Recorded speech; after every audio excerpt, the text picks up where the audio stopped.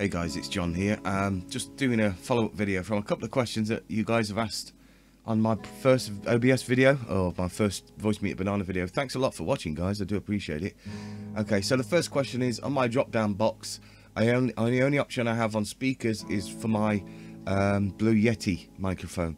Now, what I think's happened there is that Windows has defaulted uh, back to your Blue Yeti um, output. Uh, if you right-click on this little speaker icon. Go on playback devices. And I will imagine that your Blue Yeti microphone is is the default device on here now.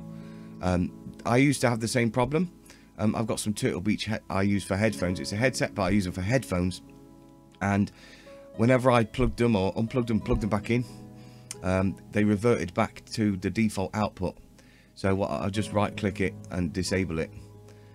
Alright that works. And then enable the Voicemeeter input back on your playback devices and all should be good. You should see the drop down box in your discord then.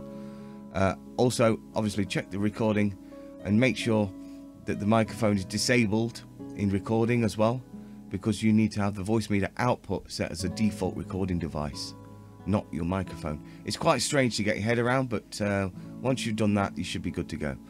Okay? Hit ok okay. So remember guys um, the inputs these are the inputs. I've only got two. I've got my discord and I've got my microphone. Um, from A to B that's where you're telling the audio where to go. So A1 my discord currently is going to my speakers and A2 I now use Turtle Beach headset as um, as um, earphones headset as uh, headphones obviously when I'm browsing the web and stuff I don't want to put headphones on so I just mute my headphones and put the output on speakers and that's fine. Obviously you don't want to do that when you discord because all your friends can hear your speakers and your desktop sound. Okay so my microphone here is routed to B1 and B2 B1 being my discord so my friends can hear me and uh, my uh, OBS master which is my current streaming and recording software. Okay desktop in is here. Voicemeeter in.